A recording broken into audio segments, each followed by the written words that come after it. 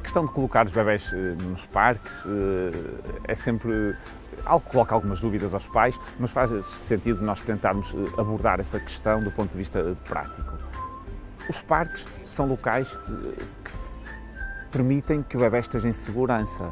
e, portanto, são locais bons para deixar o bebê se precisarmos de fazer algo ou de nos ausentarmos por um momento em que o bebê não pode estar ao nosso colo ou em contacto físico connosco. Claro que não deve ser um local para despejar os bebés e deixá-los ali tempos intermináveis, mas pontualmente faz sentido. O que nós devemos é, primeiro, tornar o, parque um lugar agradável, não pode ser um lugar de castigo, e, e isto é muito importante, não é porque estou-se mal e vai para o parque, portanto, ser um lugar agradável, onde se colocam brinquedos que, sejam, que não sejam perigosos para o bebê, como é lógico,